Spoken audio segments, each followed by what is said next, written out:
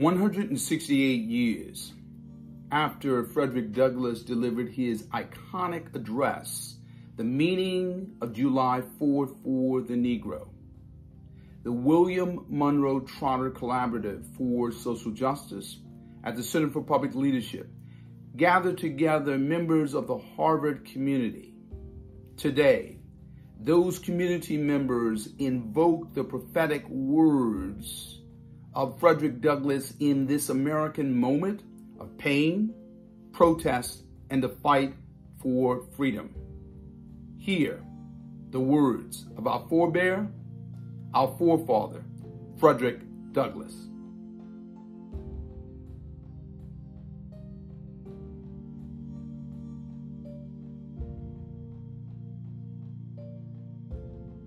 This for the purpose of this celebration is the 4th of July.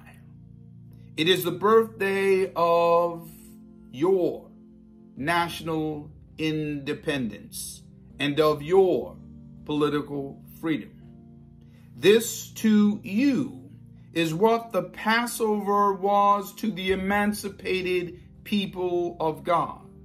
It carries your minds back to the day and to the act of your great deliverance and to the signs and the wonders associated with that act and that day. This celebration also marks the beginning of another year of your national life and reminds you that the Republic of America is now 76 years old. I'm glad, fellow citizens, that your nation is so young. 76 years, though a good old age for a man is but a mere speck in the life of a nation. Three score years and 10 is the allotted time for individual men, but nations number their years by the thousands. According to this fact, you are even now only in the beginning of your national career, still lingering in the period of childhood. I repeat, I'm glad that this is so. There is hope in the thought, and hope is much needed. Under the dark clouds which lower upon the horizon, the eye of the reformer is met with angry flashes portending disastrous times, but his heart may well beat lighter at the thought that America is young and that she is still in the impressible stage of her existence fellow citizens. Pardon me. Allow me to ask, why am I called upon to speak here today? What have I or those I represent to do with your national independence? Are the great principles of political freedom and of natural justice embodied in that Declaration of Independence extended to us? And am I therefore called upon to bring our humble offering to the national altar and to confess the benefits and express devout gratitude for the blessings resulting from your independence to us. I am not included within the pale of glorious anniversary your high independence only reveals the immeasurable distance between us. The blessings in which you this day rejoice are not enjoyed in common. The rich inheritance of justice, liberty, prosperity, and independence bequeathed by your fathers is shared by you, not by me. The sunlight that brought light and healing to you has brought stripes and death to me. This 4th of July is yours, not mine. You may rejoice, I must mourn. To drag a man in feathers into the grand illuminated temple of liberty, and call upon him to join you in joyous anthems, were inhuman mockery and sacrilegious irony. Do you mean, citizens, to mock me by asking me to speak today? If so, there is a parallel to your conduct. And let me warn you that it is dangerous to copy the example of a nation whose crimes, towering up to heaven, were thrown down by the breath of the Almighty, burying that nation in irrevocable ruin. I can today take up the plaintive lament of a peeled and woe smitten people. Fellow citizens, above your national tumultuous joy, I hear the mournful wail of millions whose chains, heavy and grievous, yesterday are today rendered more intolerable by the jubilee shouts that reach them. If I do forget, if I do not faithfully remember those bleeding children who sorrow this day, may my right hand forget her cunning, and may my tongue cleave to the roof of my mouth. To forget them, to pass lightly over their wrongs, and to chime in with a popular theme would be treason most scandalous and shocking, and would make me a reproach before God and the world. My subject, then, fellow citizens, is American slavery. I shall see this day in its popular characteristics from the slave's point of view, standing there identified with the American bondman, making his wrongs mine. I do not hesitate to declare with all my soul that the character and the conduct of this nation never looked blacker to me than on this 4th of July. Whether we turn to the declarations of the past or the professions of the present, the conduct of the nation seems equally hideous and revolting. America is false to the past, false to the present, and solemnly binds herself to be false to the future. Standing with God and the crushed and bleeding slave on this occasion, I will, in the name of humanity, which is outraged, in the name of liberty, which is feathered, and in the name of the Constitution and the Bible, which are disregarded and trampled upon, dare to call in question and to denounce with all the emphasis I can command everything that serves to perpetuate slavery, the great sin and shame of America. I will not equivocate. I will not excuse. I will use the severest language I can command.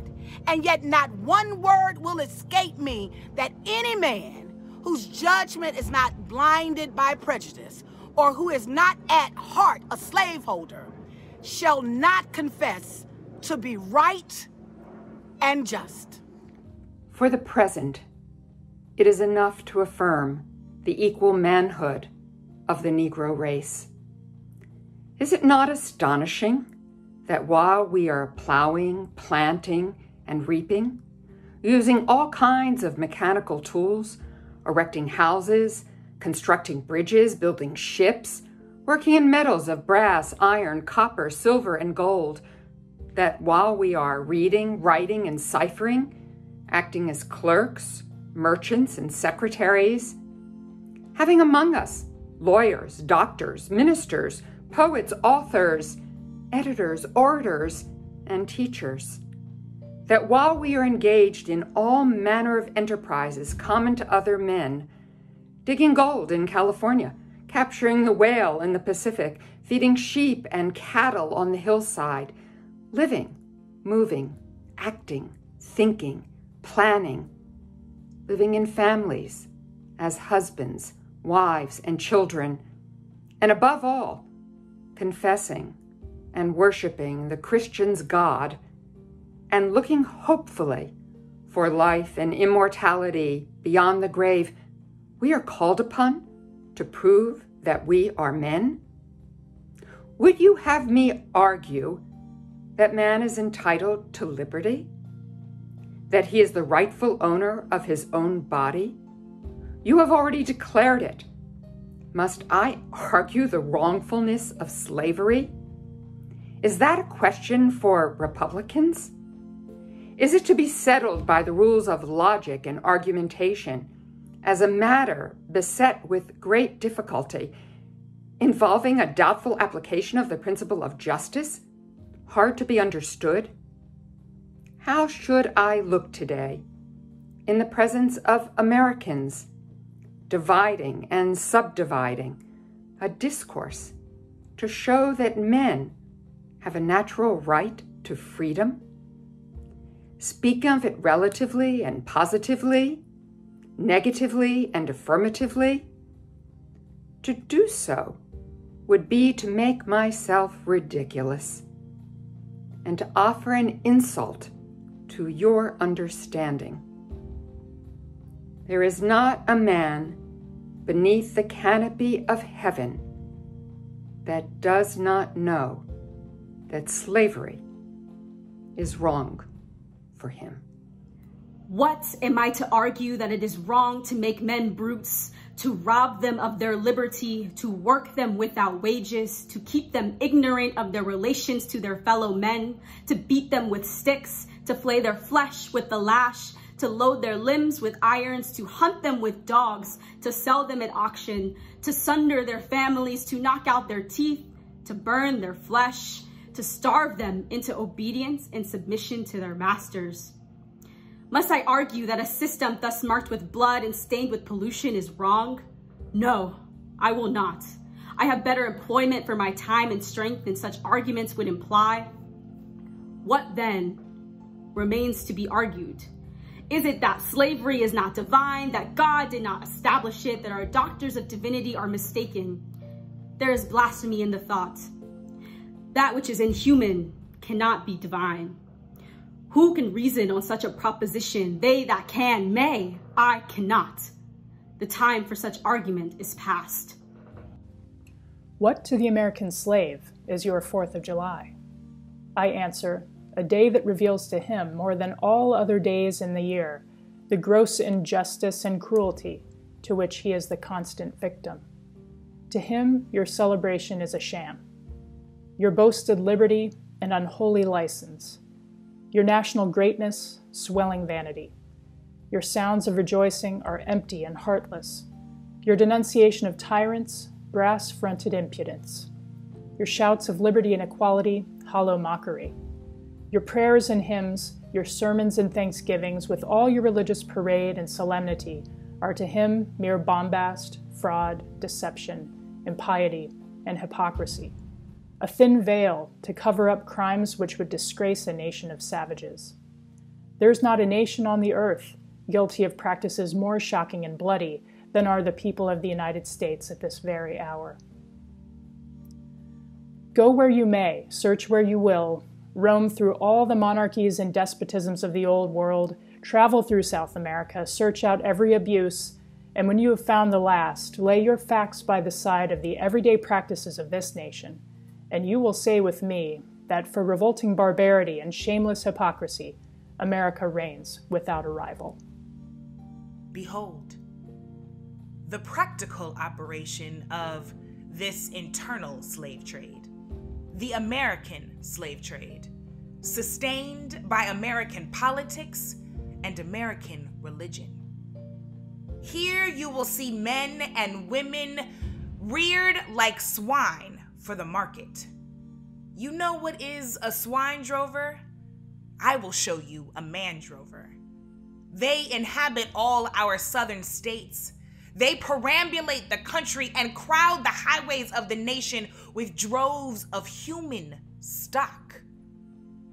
You will see one of these human flesh jobbers armed with pistol and whip and bowie knife, driving a company of a hundred men, women, and children from the Potomac to the slave market at New Orleans. These wretched people are to be sold singly or in lots to suit purchasers. They are food for the cotton field and the deadly sugar mill. Mark the sad procession as it moves wearily along, and the inhuman wretch who drives them. Hear his savage yells and his blood chilling oaths as he hurries on his affrighted captives. I was born amid such sights and scenes. To me, the American slave trade is a terrible reality. When a child, my soul was often pierced with the sense of its horrors. the fate of many a slave has depended on the turn of a single card. And many a child has been snatched from the arms of its mother by a bargain arranged in a state of brutal drunkenness. The fact that the church of our country, with fractional exceptions, does not esteem the fugitive slave law as a declaration of war against religious liberty implies that the church regards religion simply as a form of worship, an empty ceremony, and not a vital principle requiring active benevolence, justice, love, and goodwill towards humanity. It esteems sacrifice above mercy, psalm singing above right doing, solemn meetings above practical righteousness. A worship that can be conducted by persons who refuse to give shelter to the houseless, to give bread to the hungry, clothing to the naked, and who enjoin obedience to a law forbidding these acts of mercy is a curse, not a blessing to mankind. But the church of this country is not only indifferent to the wrongs of done to the slave, it actually takes sides with the oppressors. It has made itself the bulwark of American slavery, in the shield of American slave hunters. Many of its own eloquent divines who stand at as its very lights of the church have shamelessly given the sanction of religion and the Bible to the whole slave system.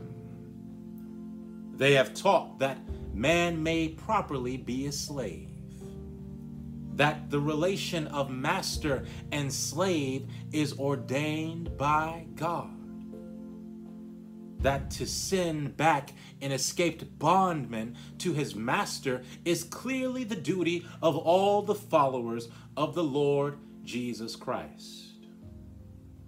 And this horrible blasphemy is palmed off upon the world for Christianity.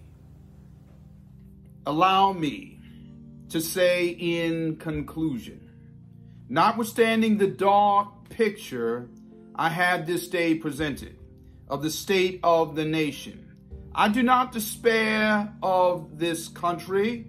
There are forces in operation which must inevitably work the downfall of slavery. The arm of the Lord is not shortened, and the doom of slavery is certain. I therefore leave off where I began with hope while drawing encouragement from the Declaration of Independence, the great principles it contains, and the genius of American institutions. My spirit is also cheered by the obvious tendencies of the age. Nations do not now stand in the same relation to each other that they did years ago. No nation can now shut itself up from the surrounding world and trot round the same old path of its fathers without interference. The time was when such could be done. God, speed the hour, the glorious hour, when none on earth shall exercise lordly power, nor in tyrant's presence cower, but all to manhood's stature tower by equal birth. That hour will come to each, to all, and from his prison house the thrall go forth until that year, day, hour arrive with head and heart and hand I'll strive to break the rod and rend the jibe, the spoiler of his prey deprived so witness heaven, and never from chosen post would e'er the peril or the cost be driven.